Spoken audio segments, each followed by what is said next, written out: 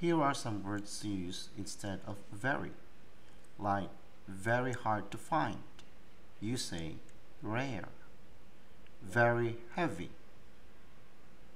leaden, very high, soaring, very hot,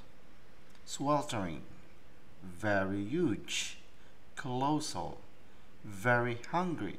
starving, very hurt, battered,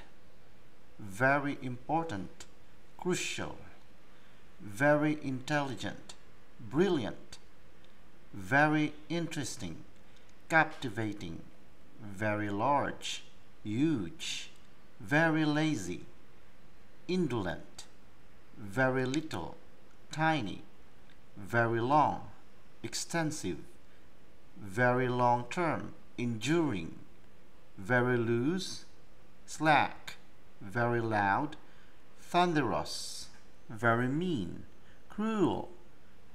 very messy, slovenly, very necessary, essential, very nervous, apprehensive, very nice, kind, very cute, adorable, very fast, swift.